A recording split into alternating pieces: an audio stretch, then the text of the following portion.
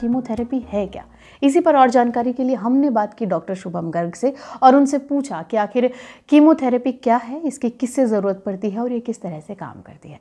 अनीता जी, ये बहुत common question है जो हम लोगों से पूछा जाता है कि कीमोथेरेपी क्या है। कीमोथेरेपी कुछ नहीं बट दवाइयाँ है ड्रग्स है जो हम आईवी यानी नसों के थ्रू या ओरल टैबलेट्स की फॉर्म में देते हैं।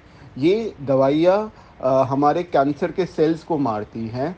परंतु ये दवाइयाँ बहुत जेनरिक होती है। इसीलिए वो ना सिर्फ़ कैंसर के सेल को मारती है, वो कुछ कुछ कॉमन सेल्स को भी मारती है, जिसे हम यूजली साइड इफ़ेक्ट के रूप में देखते हैं। कीमोथेरेपी का रोल अलग अलग कैंसर में अलग अलग स्टेज पे अलग अलग तरीके से आता है।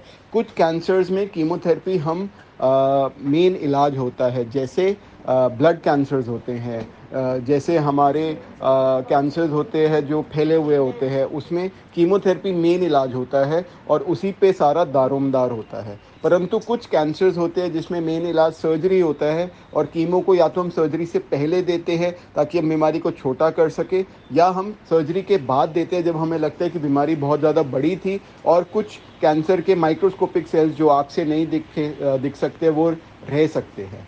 कितनी बार हम कीमोथेरेपी को रेडिएशन के साथ देते हैं ताकि रेडिएशन का असर ज़्यादा हो और कीमोथेरेपी का हमें बेनिफिट मिल पाए। तो कीमोथेरेपी का कोई एक रोल नहीं है बट आपके कैंसर के हिसाब से, आपके स्टेज के हिसाब से अलग अलग स्टेप्स पे अलग अलग रोल होता है।